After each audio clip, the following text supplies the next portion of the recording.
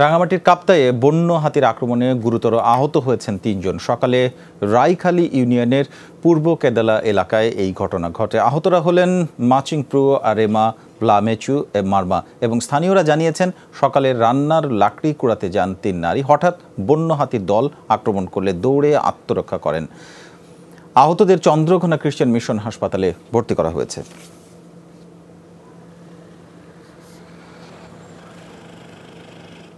রাঙামাটি খাগড়াছড়ি সড়কের কুতুকছড়িতে ভেঙে পড়া বেইলি ব্রিজ অপসারণ এবং নতুন সেতু নির্মাণের কাজ শুরু করেছে সড়ক এবং জনপথ বিভাগ।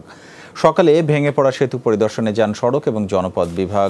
চট্টগ্রামের অতিরিক্ত প্রধান প্রকৌশলী আব্দুল ওয়াহিদ। তিনি জানান, দ্রুততম সময়ের মধ্যে আরেকটি বেইলি ব্রিজ নির্মাণ করা হবে। এছাড়াও রাঙামাটি, খাগড়াছড়ি এবং বান্দরবনের জন্য বেইলি ব্রিজের সাথে স্থায়ী পিসি গার্ডার এবং আরসিসি ওয়াল উন্নয়ন প্রকল্প গ্রহণ করা হয়েছে। গতকাল রাঙামাটি, খাগড়াছড়ি সড়কের কুতুকছড়িতে পাথর বোঝাই ট্রাকসহ বেইলি ব্রিজ ভেঙে পড়লে তিনজন মারা যান। সেতুটা আমরা এখান থেকে সরাবো। সরানোর পরে নতুন একটা বেইলি এখানে স্থাপন করা হবে। এবং এর জন্য যাবতীয় কার্যক্রম আমরা গ্রহণ করেছি।